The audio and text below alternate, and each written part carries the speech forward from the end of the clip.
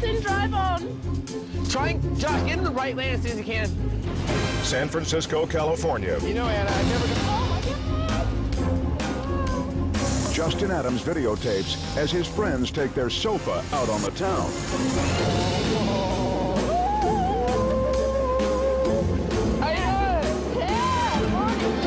Now, for the first time on TV, Justin offers his rationale for the reckless joyride.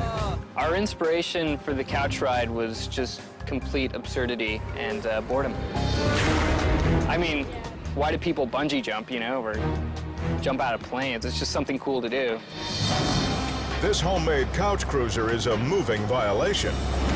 Basically, it's ready to stop signs left and right. and a dangerous one.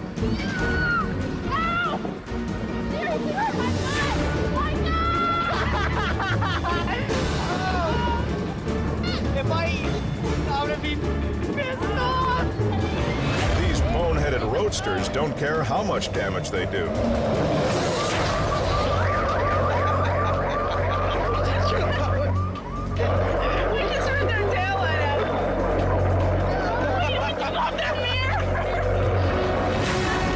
The booze cruise heats up. Oh man, we got sparks! We got sparking! Oh man, we got sparks coming out from all over. I think we're gonna be on fire pretty soon. The Road Warriors venture onto the Golden Gate Bridge and get pelted by plastic pylons. That was not part of the plan.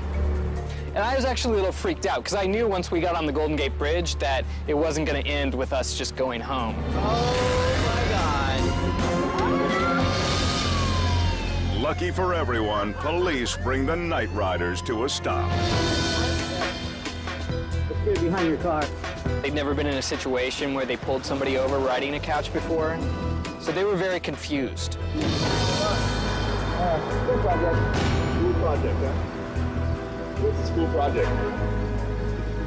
Environmental film. You guys gonna kill yourselves out here again? Automatically? Or somebody else?